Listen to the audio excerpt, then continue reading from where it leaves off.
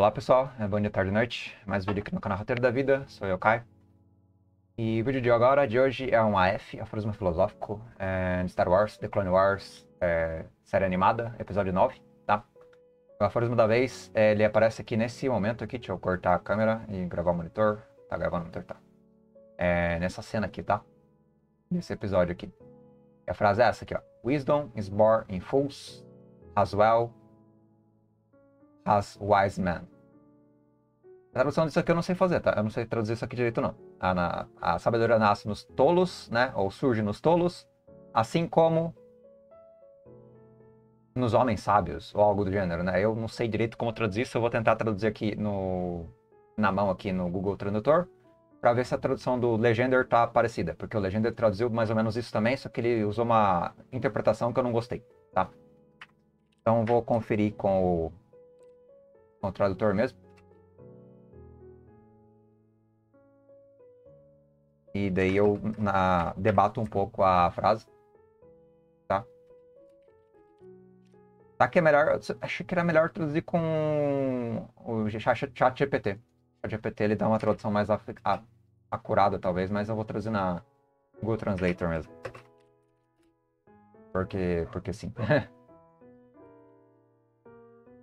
Casuais é semelhante, tá? É semelhante. Man. A sabedoria nasce tanto nos tolos quanto nos sábios. De acordo com a tradução do próprio Google Translators, Translator, é, a sabedoria nasce tanto nos tolos quanto nos sábios. Ou seja, pessoas tolas e sábias manifestam sabedoria. A tradutor, a tradução, a tradução do tradutor foi o seguinte: ó, a sabedoria está tanto nos tolos quanto nos sábios. Ele usou tanto como se ela já estivesse lá, e na inglês, no inglês não cola essa, essa, essa interpretação do, do Legender. Por que, que não cola? Porque se você usar que a sabedoria está nos sábios, beleza, um sábio tem que ter sabedoria. Mas ela está nos tolos de maneira imanente. Será que ela está lá? Não, ela não está. Por quê? Porque ela nasce. Nascer quer dizer que não estava antes. Então, quando você fala que alguma coisa nasce, é importante você delimitar que ela não é perpétua. Se ele disser que a sabedoria está no sentido de permanência, e esse é o erro da tradução dele, ele dá o entendimento de que a sabedoria já estava lá antes. Só que a frase não é essa, ele traduziu errado. Tá? A, leitura dele é um pouco, li, um pouco livre demais. Tá? Se ele fala sabedoria nasce, surge, surgir quer dizer que ela não estava, ela está acontecendo. Nos, folo, nos tolos, assim como nos sábios, ou os homens sábios, Aí você entende a frase de maneira mais adequada. Aí você entende a frase é, de maneira mais é, fidedigna com, a, com, a, com, o inglês. Né? O inglês ele é mais preciso nessa elaboração que eu estou dizendo aqui, traduzindo com o Google Tradutor e também a minha interpretação. Então, para ler essa frase, eu acho que o translator comeu bola. Né? Ele falou uma coisa equivocada. Mas beleza. Então, nesse caso, não posso considerar a, a, sabedoria algo inerente a um tolo ou inerente a um sábio. E é interessante pensar que um sábio não possui sabedoria. Como assim o sábio não tem sabedoria inerente? Ele é sábio com ou sem a sabedoria? Se ele não tem sabedoria, ele pode ser considerado sábio? E aqui tá o macete. Pode. Por que ele pode? Porque ele acha que é sábio, mas na verdade ele é um tolo.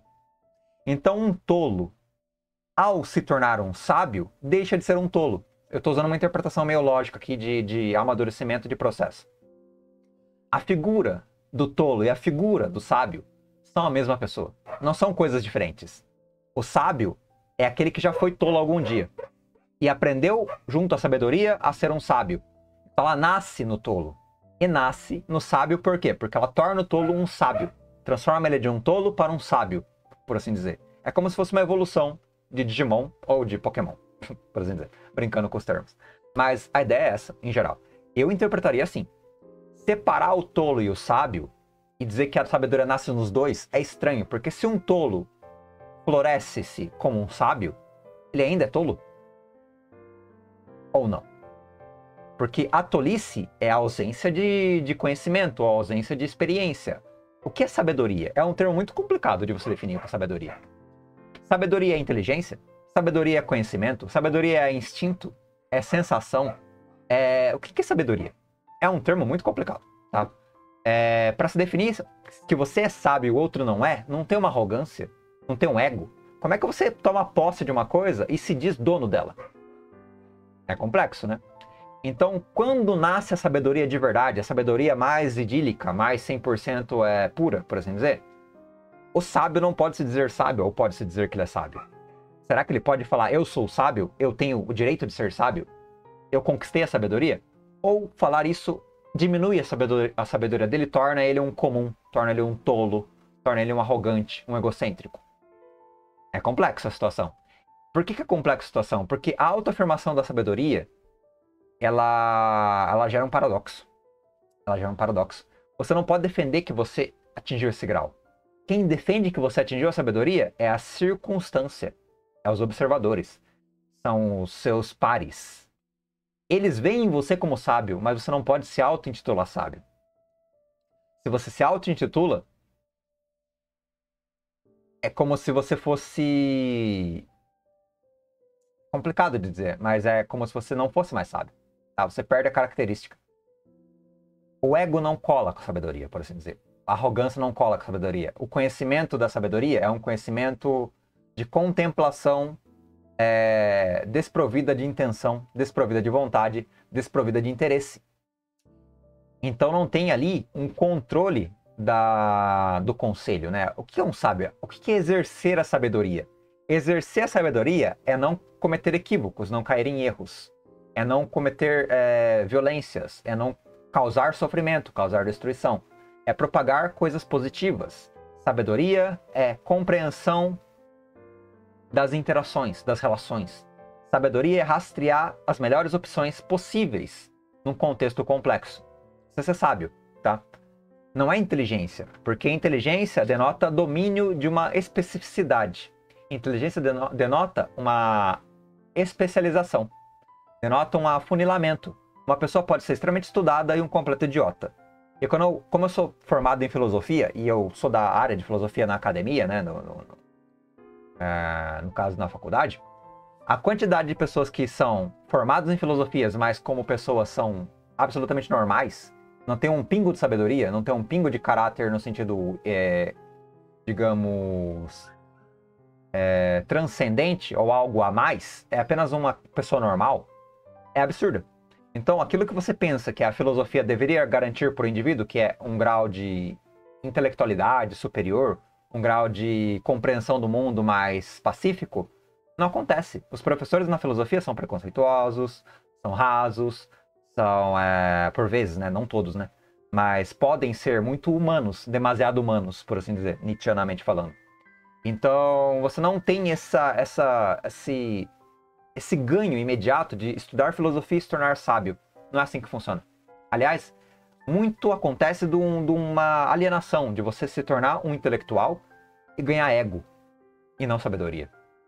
Tá? E ganhar autoafirmação, ganhar mérito, ganhar critério, ganhar status, ganhar vaidade. Tá? E ganhar poder. Poder acadêmico, poder é, intelectual, poder é, financeiro, entre outras coisas. Já que a filosofia poder financeiro não faz sentido falar, né? Porque, né? Carreira do, da, da contemplação, por assim dizer. É, e da crítica, né? Então, nesse âmbito aqui, é, ser especializado é apenas você conseguir controlar uma faceta, uma faceta da complexidade do mundo. Ser sábio é sobreviver na complexidade do mundo como um todo. É pela experiência, pela adaptação, pela transformação, pelo equilíbrio escolher o melhor possível, as melhores, os melhores caminhos, as melhores respostas. E não apenas escolher, mas saber que aquele caminho é o melhor. Você não escolhe um caminho cegamente. Você tem um vislumbre, uma premonição do resultado, tá? Se você falha, não quer dizer que você é infalível, né? Sabedoria não é infalibilidade. Mas a semelhança do tolo para o sábio é exatamente essa, porque um sábio tem que ser, em certo sentido, alguém muito tolo, tá? Por que ele tem que ser tolo? Porque todo aquele, aquele que é, de fato, alguém que propaga uma experiência de um caminho exitoso, é alguém que está arriscando é, uma direção. Eu diria. Me embaranei um pouco no pensamento. Eu tentei provar uma coisa que eu não sei se eu consigo provar. Mas estaria se direcionando a uma direção onde, por ele ser sábio, ou ele exercer sabedoria num contexto de dominação de um contexto de, de aprimoramento do destino, de busca do objetivo, por assim dizer. Ao exercer essa busca do objetivo, se ele realmente fosse sábio, ele sabia que ia falhar, ou que poderia falhar, que faz parte falhar. Só que o grau de sabedoria é um grau que adquire um status também. Você não pode ser falho. E ser falho faz parte da sabedoria. Se você é falho e é sábio, você também é tolo. Então todo sábio tem que ter um grau de tolice, por quê? Porque ele tem que ter a falibilidade. A falibilidade é quando ele vai para um caminho e ele fracassa. Então ele não é onipotente, ele não é onisciente, ele não é onipresente. Ele é apenas um sábio, uma figura falível. Ele pode ter errado. E a possibilidade de ele estar errado torna ele mundano e torna ele um possível tolo que acreditou ou direcionou-se para um caminho ou direcionou alguém para um caminho que levou ao fracasso, que levou à morte, que levou à destruição, que levou ao sofrimento. Então o grau é qual é o nível de acerto, qual é o resultado que uma pessoa sábia tem. É 90%? É 80%? É 60%? É 50%? Não sei, depende, mas não é 100%.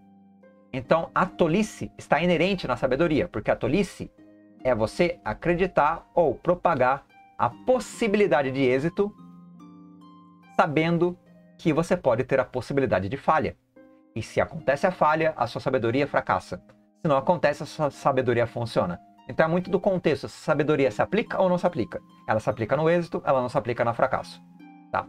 Toda vez que você fracassa, você é apenas um tolo.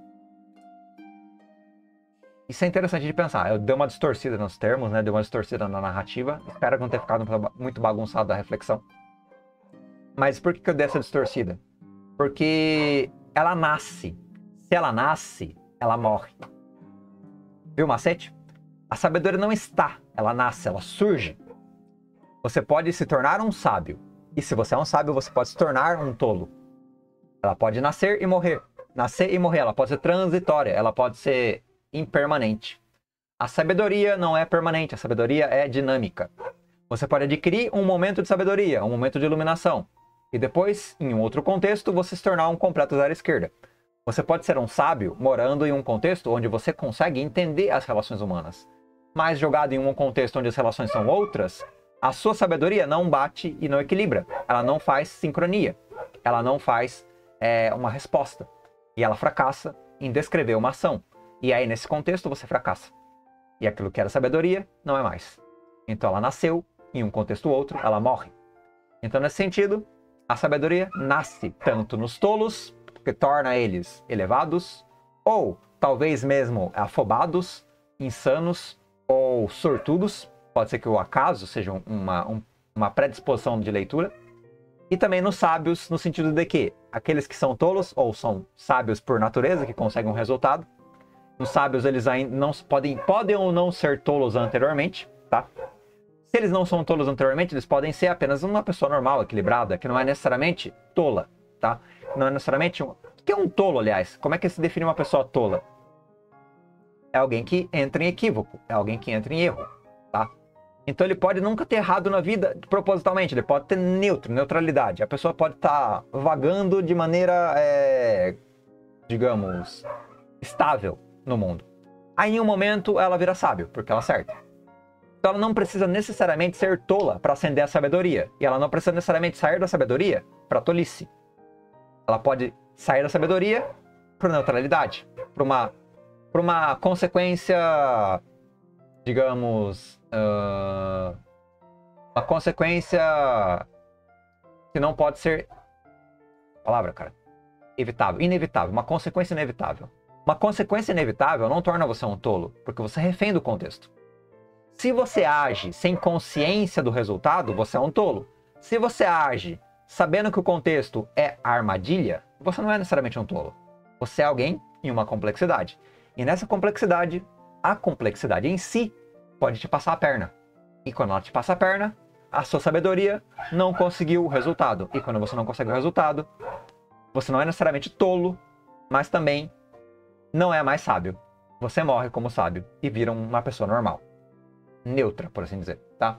Então tem várias dinâmicas de pensamento que a gente pode fazer com essas frases, com esses termos, analisando os termos, né? analisando o papel de uma, de uma figura sábia, analisando o papel de uma figura tola, analisando o nascimento, o percurso e, o, e a morte desse, dessa característica, é, brincando é, na junção desses, dessas dinâmicas, né? desses, é, digamos, desses é, atores, né?